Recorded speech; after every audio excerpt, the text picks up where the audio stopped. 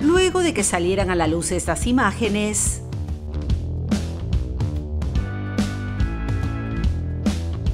el aún esposo de la joven empresaria salió al frente. Feliz tampoco estoy, porque me parece un poquito apresurado, ¿no? Aunque esto solo fue el principio, así que mejor agárrate y sé bienvenido aquí pues. Tras confirmarse que Ale Venturo está en la dulce espera, el ex esposo de la empresaria reveló cómo tomó el anuncio de este nuevo integrante de la familia de Ale y el gato Cuba. También ya me enteré ya. Este, bueno, pues ya, feliz tampoco estoy, porque me parece un poquito apresurado, ¿no? Especialmente para mis hijos. Y es que según este caballero, su pequeña ha pasado por muchos cambios que podrían perjudicarla. Ya que está, está por este el último año y creo que por la hija de Rodrigo también, ¿no? Pero ah, al final del día ya son adultos ellos y saben lo que están haciendo.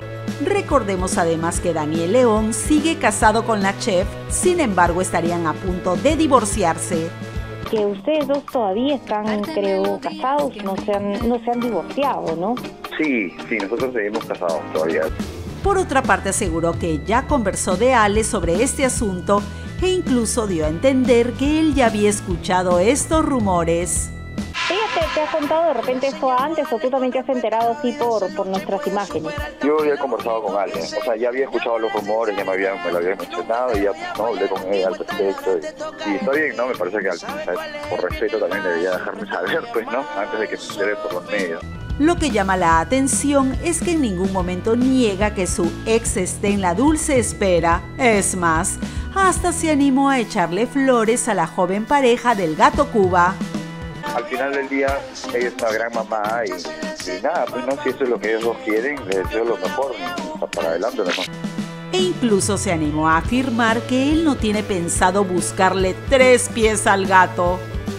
Yo no sé muy bien los problemas que podría traer eso, me imagino que ya lo debe haber, pero, pero yo la- ya he conversado esto con Alexander, entonces yo no tengo ninguna intención de buscar el tres pies al gato, al contrario, ya, ya pasó esta situación, ya yo, yo con Ale estamos comunicándonos mejor nuestra hija y quiero avanzar nomás.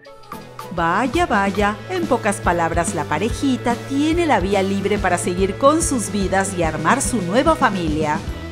Ahora entendemos por qué Ale ya no se oculta y postea este tipo de imágenes mostrando sin roche su abultado abdomen. Ya nos vamos a dormir. Ay, ¿por qué me invitas? Y que te voy a contar el cuento de Ta. ¿Y tú, qué opinas de toda esta situación?